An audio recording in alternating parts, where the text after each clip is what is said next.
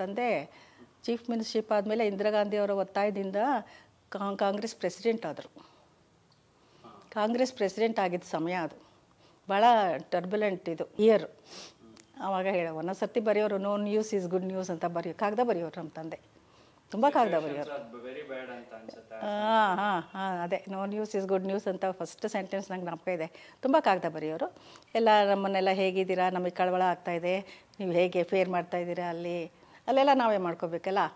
ಅದಕ್ಕೆ ಅವ್ರಿಗೆ ಗೊತ್ತು, ನನಗೆ ಅಡುಗೆನೂ ಬರ್ತಿರ್ಲಿಲ್ಲ, ಸರಿಯಾಗಿ ಮಾಡ್ತಿರ್ಲಿಲ್ಲ, ಕೆಲಸನೂ ಮಾಡ್ತಿರ್ಲಿಲ್ಲ, ನನಗೇನು ಕೆಲಸ ಗಿಲ್ಸ ಏನು ಮನೆ ಕೆಲಸ ಇಲ್ಲ. ಹೌಸ್ ವೈಫ್ ಆಗೋಕ್ಕೆ ಸ್ವಲ್ಪ ನಾಲಾಯಕ್ಕೆ ಆಗಿದ್ದೆ ನಾನು. ಅಂಥ ಟೈಮ್ನಲ್ಲಿ ನಾನು ಹೋದ್ನಲ್ಲ ಒಬ್ಬಳೇ ಇರಬೇಕಾಯ್ತಲ್ಲ, ತುಂಬ ಕಾಗದ ಬರೆಯೋರು. ಹೇಗಿದ್ದೀರಾ ಎಲ್ಲ ಅಂತ. ಪ್ರೀತಿ ತೋರಿಸುತ್ತೆ ಅದು. ಅದು ನಮಗೆ ಕಾಂಟ್ಯಾಕ್ಟ್ ಇಲ್ದಿದ್ರು ಅವ್ರಿಗೆ ಮಕ್ಕಳ ಮೇಲೆ ಏನು ಪ್ರೀತಿ?